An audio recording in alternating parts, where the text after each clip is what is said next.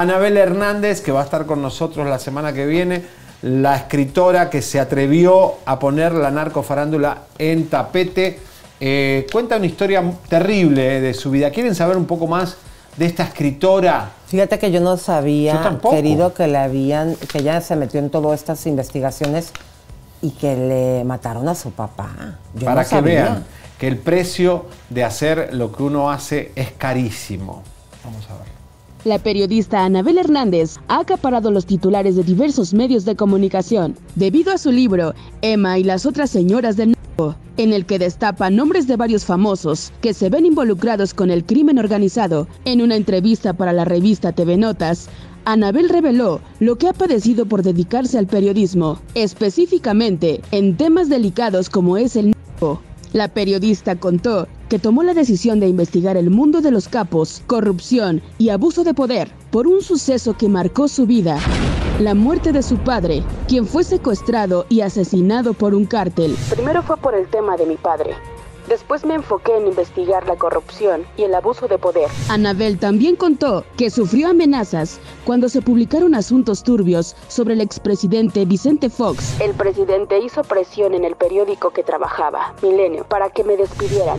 Más tarde, con su libro Los Señores del Narco, comenzaron los atentados. Con este libro llegaron atentados en contra mía y de mi familia, y el asesinato de algunos informantes. Empezó una guerra de hostigamiento y violencia injustificable. Trataron de asesinarme y no me callaron. La persecución de estos policías en contra mía fueron de las cosas más violentas. Dejaban animales decapitados en la puerta de mi casa en 2013, aunque ya había terminado el sexenio de Felipe Calderón. Sobre el motivo que la impulsa a seguir con dichas investigaciones, a pesar de que su vida se pone en peligro, Anabel respondió, El recuerdo de mi padre y esta búsqueda de la verdad. Cada vez que cuento historias, siento darle voz a mi padre, que no pudo contar su historia de lo que le haya sucedido. A ver, Qué duro, ¿eh? Qué fuerte. Imagínense, esta señora no, obviamente no puede vivir en México, ¿no? Porque tiene muchas amenazas. Vamos a suponer su libro es ahora se está convirtiendo en un bestseller, pero fíjate, con todo y la piratería, los audios que de repente encontramos en YouTube, que obviamente al ponerlos no le paga nada a ella, ha vendido hasta el momento, que es un gran logro por la piratería, 150 mil unidades. Vamos sacando cuentas a 15 dólares el libro. Eh, puede ser que ella hasta el momento haya hecho digamos, unos 120 mil dólares. De esos 120 mil dólares, la editora les paga que el 15, el 20%. Hay que apoyar a estos periodistas, comadres. Sí, el libro está muy famoso y espumoso, pero lo que llega a ella de dinero es muy poco y tener que vivir, aunque sea si es que vive en Europa o en Estados Unidos, con seguridad es carísimo. No, y el equipo de seguridad que tiene que pagar para poder vivir. Cada vez que va a México a la Feria del Libro, todo eso tiene que pagar una seguridad terrible. Si nosotros pagamos un montón de plata por ir a México, eh, imagínate lo que debe pagar ella para poder estar ahí y, defenderse, protegerse. La manera es blindando, eh, por ejemplo, si ella tiene redes sociales, este, siguiéndola, suscribiéndose si es que tiene su canal es la manera de proteger. Apoye a estos periodistas que dan su vida para que usted esté informado de todo. Ocho periodistas muertos, comadres, en lo que va del año. Bueno, y mucha injusticia. Ahora vamos a entrar con el tema de Duque. Atención todos, empiecen a compartir porque eh, también vincularon que Elisa.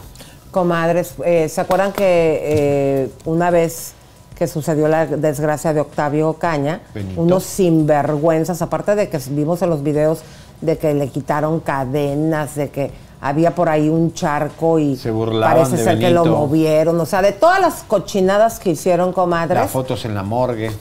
Bueno, es lo que voy a presentar. Fíjense, comadres, que unos sinvergüenzas en la morgue le tomaron fotografías y las pusieron en redes sociales al cuerpo. Y parece ser que ahora sí ya un juez se puso los pantalones y los vinculó a proceso a estos delincuentes. Adelante. Aleito, ¿me ayudas? Hoy la jueza de control con sede en Tlanepantla determinó la vinculación a proceso de los dos funcionarios que presuntamente difundieron imágenes de Octavio Augusto Pérez Ocaña en la morgue. un largo camino para recorrer para que todos los actos indebidos e ilegales relacionados al deceso de Octavio sean castigados con todo el peso de la ley. Pero esto se tardaron demasiado, ¿eh? Demasiado. Esto tenía que haber sido automático. Al otro día que se vieron la foto, ya la policía tendría que haber hecho una investigación y sacarlos inmediatamente. Van en cámara lenta, comadres. ¿Qué les pasa? La, la, semana pasada habíamos dicho, imagínense, la familia gastando para que se haga justicia. El público mandando video y fotos porque Gracias a la las policía fotos no de, tiene evidencia. Exactamente, por todo el movedero y lo que hicieron ahí. Vergüenza. Nosotros somos Don Malo y Doña Mala, porque somos los únicos que les decimos sin miedo y de frente a los famosos y espumosos sus cochinadotas.